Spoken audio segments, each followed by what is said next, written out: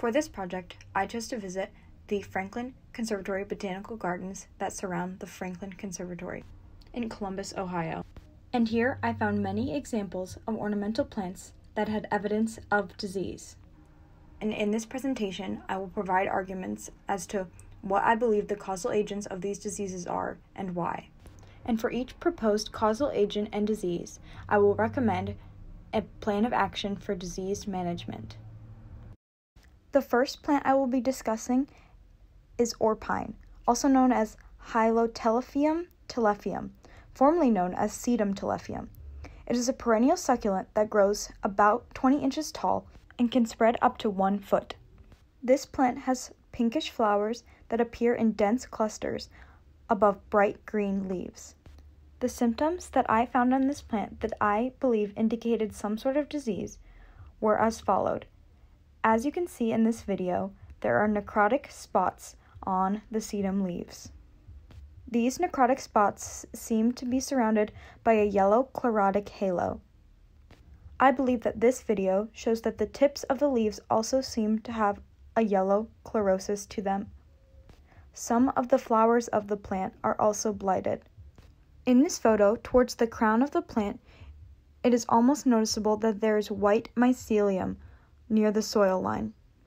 I had some trouble finding mycelium on this plant but I do believe that this photo shows some on the crown of the plant.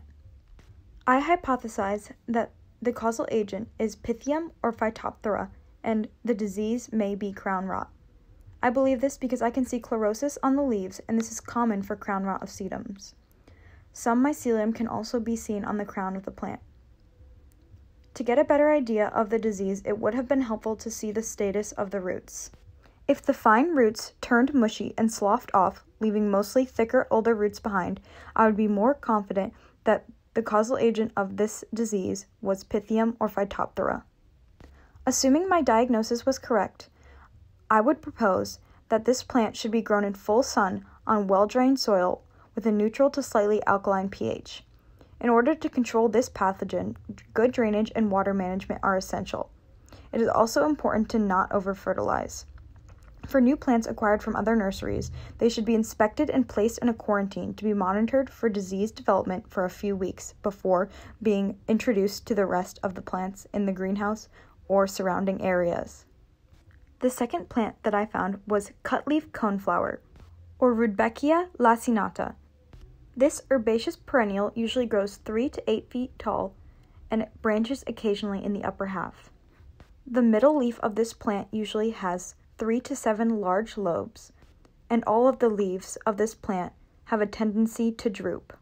Though I did not find many symptoms, I do believe that this photo shows some yellowing chlorosis on the tips of the leaves. The signs I found, however, are abundant. As can be seen in many of the photos that I included in this presentation, there is an abundance of white mycelium on the upper and lower portions of the leaves. I also believe that there's small ovate pycnidia found on the underside of the leaves.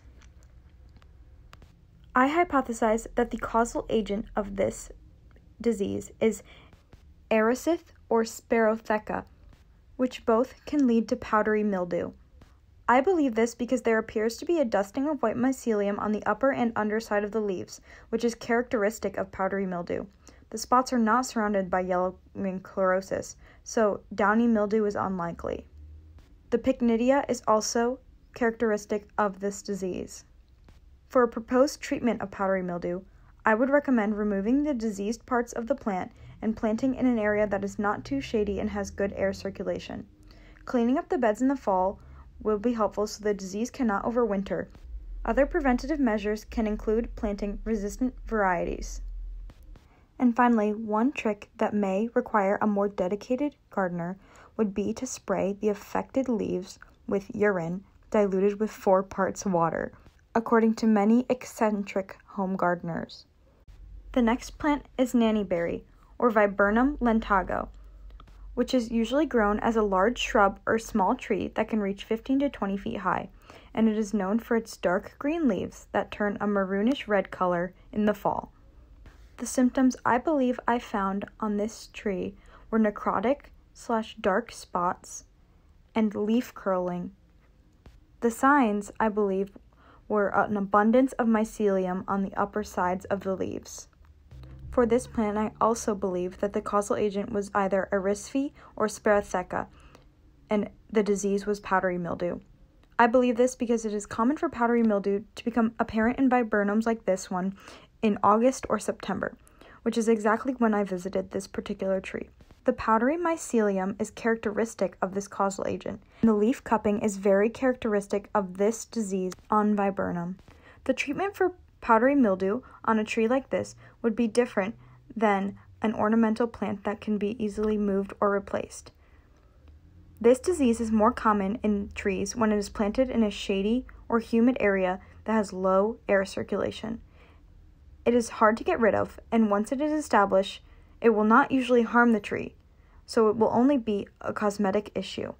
To deal with this disease, it is best to apply fungicides when the first powdery mildew appears on the leaves. And as I said before, removing the debris in the fall will help destroy inoculum for the following growing season and stop the spread of the disease.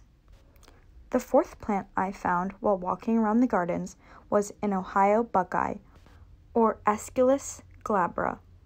The Ohio buckeye is a member of the horse chestnut family and usually ranges from medium shrubs to large trees. These trees are usually known for their thick and luscious canopies that provide immense shade.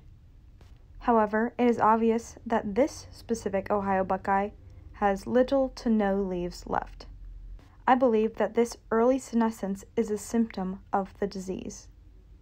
On the remaining leaves, it can also be seen that there is the symptom of necrosis and necrotic spots. I could not identify any signs when looking at the tree. I hypothesized that the causal agent is Guignardia aesculi, or Guignardia leaf blotch. I believe that this is the causal agent because recently in Ohio there has been continual wet weather, and this is the perfect environmental condition for this fungal pathogen to infect. Disease symptoms appear as lesions on the leaflets that are surrounded by yellow chlorotic halos. The lesions are small and reddish brown and are bounded by the leaf veins. In these photos, I believe that the blotches are contained by the veins. This is why I believe it separates leaf blotch from leaf scorch. The only current recommendations for management of this disease are fungicide applications. There, however, are no fungicides that will provide protection for the entire growing season, so repeated applications may be required. Because leaf scorch and leaf blotch are very similar to each other, I decided to also include the management for leaf scorch. The Ohio buckeye tree is in the horse chestnut family, as stated before, and these trees do not tolerate high lights. By planting this tree as an understory tree, leaf scorch can be avoided. So, it can be assumed that if the tree is already in a well shaded area and it still is portraying these symptoms, then it is probably leaf blotch. For the final plant, I found a bottle brush buckeye, or Aesculus parviflora. The bottlebrush buckeye is a shrub that has long, fluffy white flower clusters. In one of these photos, you can see the stem that used to hold the flower clusters. The symptoms that I believe I can see in this plant are chlorosis contained by the leaf veins, necrotic tips surrounded by a yellow chlorosis, and, as seen in many of these pictures, I believe that the leaves are wilting. One sign that I was able to find on this plant was an abundance of pycnidia on the undersides of some of the leaves. Just like the buckeye tree, I believe that the causal agent was Guignardia aesculi. I believe that this was the causal agent because the necrotic spots are reddish brown to brown and are bordered by a yellow band that merges gradually with the green tissue of the leaves. And just like before, the lesions appear to be limited by the veins. I also believe that this is the causal agent because there are some petioles that appear to have become infected with small reddish round spots that elongate on the petioles. There is also globose pycnidia on the leaf surfaces. This is characteristic of the disease when it is proliferous on a plant. I was surprised to find that this bottle brush has symptoms of Guignardia leaf blotch because it is not common in bottle brush buckeyes. I do believe, however, that this bottle brush buckeye is affected by this disease, mainly because of the petiole lesions, which are extremely characteristic of this disease. As for treatment for disease management, I would recommend to clean the debris of the plant in the fall for the following season. And as I said before, consistent fungicide applications during the growing season are essential to treating this disease, especially if it has already taken over the plant, as appears here.